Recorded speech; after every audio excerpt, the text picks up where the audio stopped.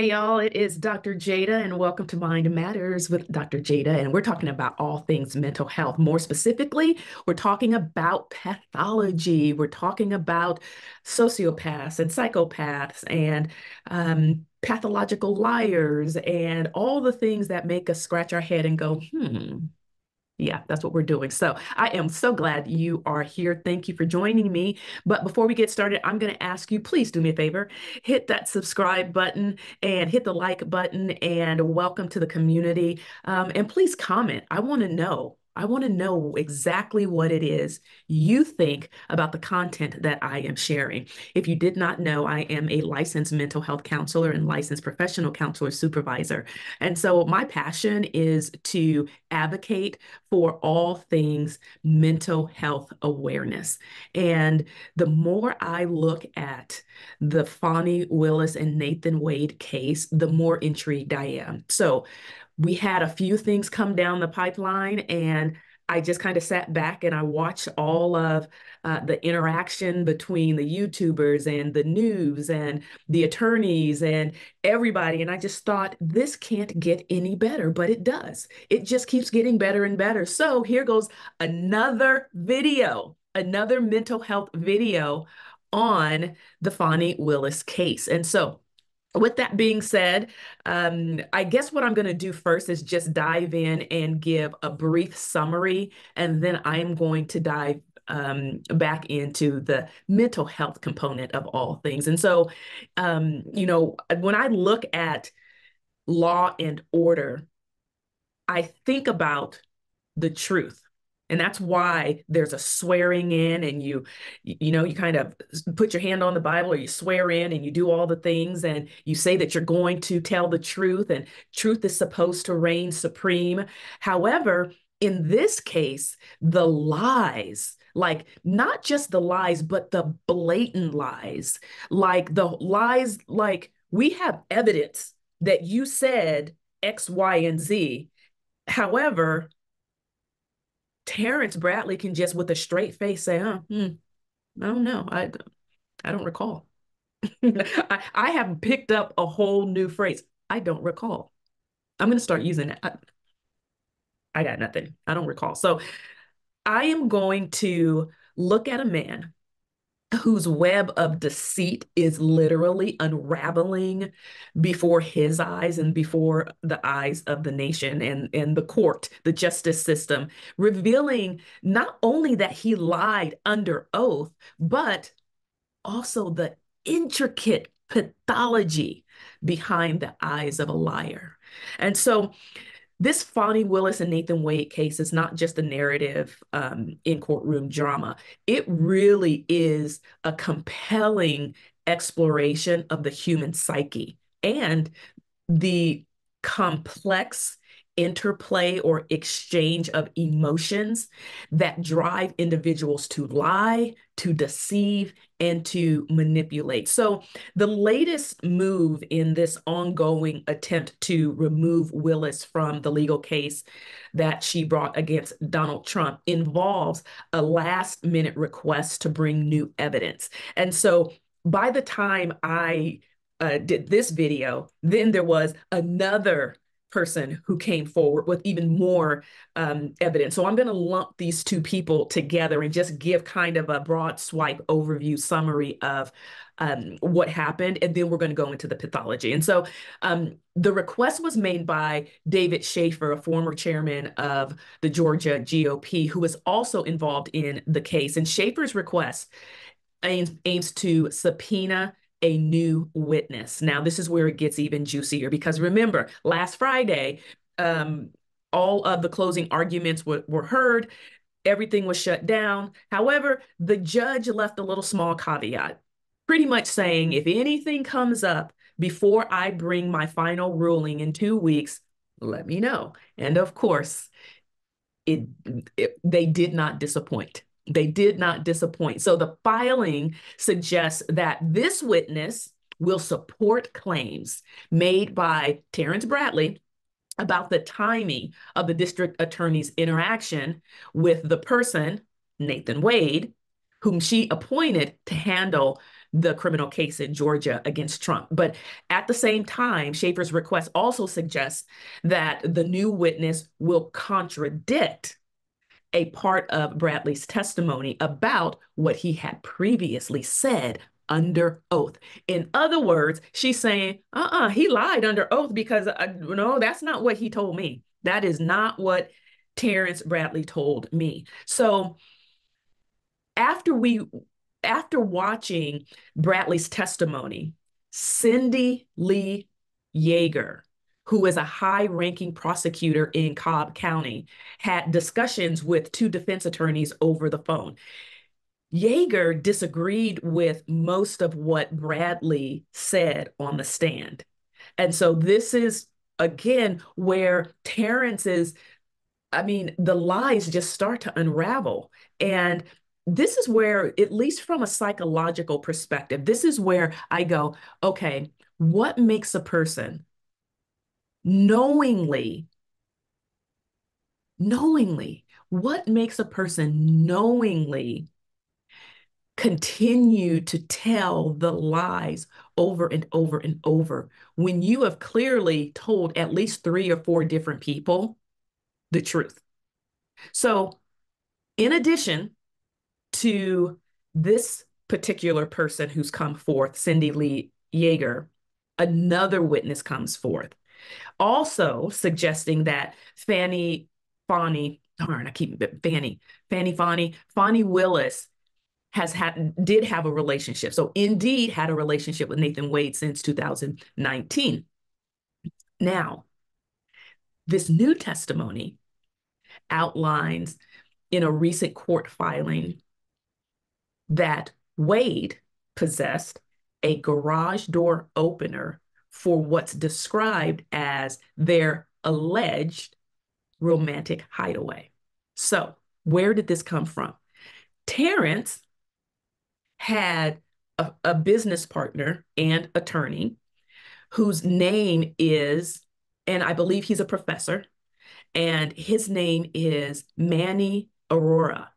And so Manny says that between September and October of the previous year, based on the court documents, he was able to say that the affair definitely did happen um, back in 2019 to 2020. So, interestingly enough, Bradley told Arora that Wade told him himself that he had that um, garage door opener.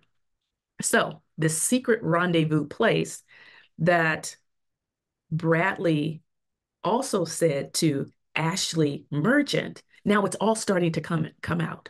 So, at the core, at its core, now let's get into some some psychology. Let's really let's get into some pathology. And listen, y'all, I know that you know people. You're like, I know you lying. I know you are lying, but you're going to continue to lie to me, even though I know you're lying and you know you're lying. So we're just going to play this game and you're going to keep lying. Even if I call you on it, you're going to keep lying. What is that? What I want you to comment down below and I want you to tell me, do you know someone who can look you straight in your face and tell you a lie? and look at you like you're crazy if you tell them, I don't believe you. And they'll keep looking at you. Yeah. What is that? What is that? At its core, lying under oath is a betrayal of is a betrayal of trust, obviously. But not just betrayal of the legal system, but also the betrayal of the fundamental principles that bind our society together. It's where we um, we connect because connectivity is a basic fundamental human need. It's a, we have to have it. We have to have the safe space and the trust to be able to connect and to allow us to build bridges through our differences, through our disagreements.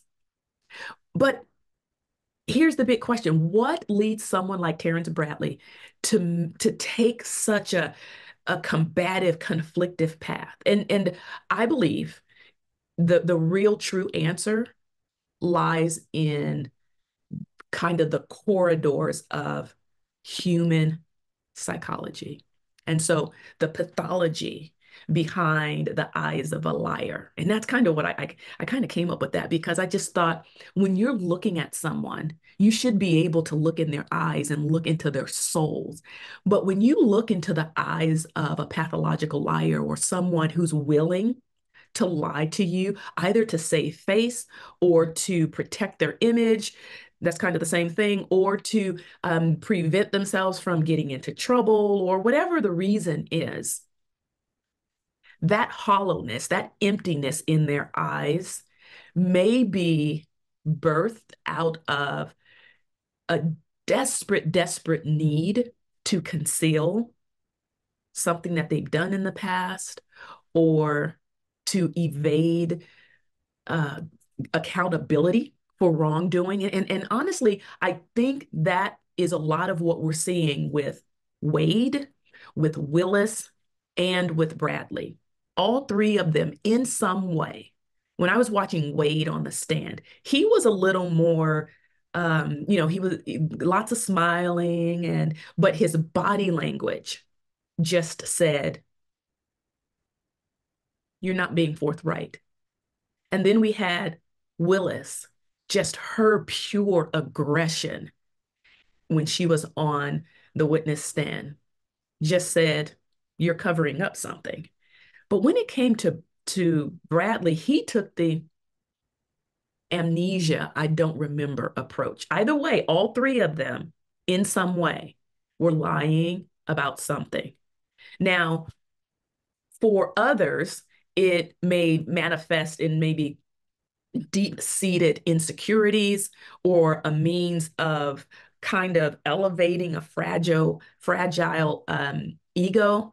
But I believe in Terrence Bradley's case, perhaps it was just the toxicity of the combination of ambition, fear, and a misguided sense of self preservation that literally catap- catapulted him down this road of manipulation and deceit and lying. So the consequences of lying under oath extend far beyond the confines of the courtroom, obviously.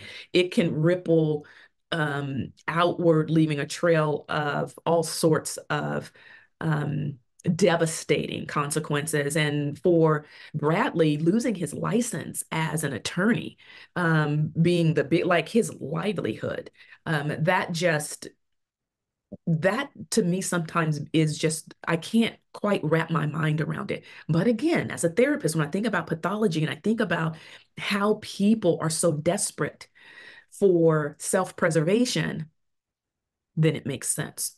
So, what does all of this mean? Let's look at personality types. I already in another video addressed narcissistic personality disorder or NPD. I talked a little bit about antisocial personality disorder, ASPD. Talked about that in another video as well. What I didn't talk about was borderline personality disorder, BPD. Many of you have probably heard of that, but borderline personality disorder, a person may resort to threats in response to perceived abandonment or rejection. Their fear of abandonment um, and unstable sense of self can lead to very violent, intense reactions, including threats. Um, and so when we're talking about threats, the reason I brought this up is because, and I'm not diagnosing Fani Willis, that's not what I'm doing. However, the question came up for Yeager. She was with Bradley, I believe, um, somewhere in her office or somewhere nearby, but they were together. And Bradley got a call from Willis. And Yeager overheard Willis telling Bradley that he better not reveal her personal business.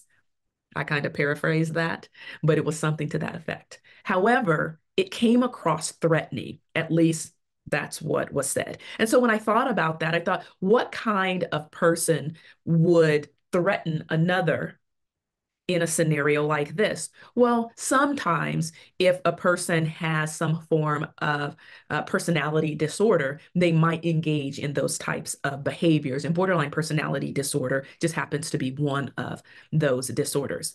However, here's the one that I really want to focus on uh, today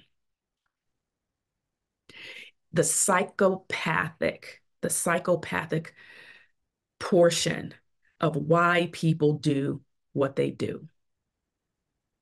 The psychopathy of why people do what they do. So, a, a, psychopathic individual may use threats as a weapon or a tool to exert power and dominance over others, again, without experiencing remorse or empathy for their victims. And so this is kind of what we're seeing with Willis because not just Bradley did, it seem like she was threatening Bradley, but when we hear about how she uh, maneuvered in her office, there are many who felt that there was that exertion of dominance and that exertion of uh, threatening behavior. So, just an interesting thought. Now, um, I just want to I just want to say this. I don't have a dog in the fight one way or the other, but I am just absolutely enthralled at how this is playing out um, in the court system and how people are watching this going, what the heck is really going on? But it looks like the case may be reopened so that we can hear from Arora and Yeager to see what did Bradley really say and what did Willis say to Bradley and was it indeed a threat? And did Bradley feel so threatened by Willis that he was willing to lie under oath because he was afraid, maybe, or he was in that mode of self protection because he's almost like, darned if I do, darned if I don't. I don't know. I'm just, I don't want to say anything now. I'm just going to amnesia. I don't recall.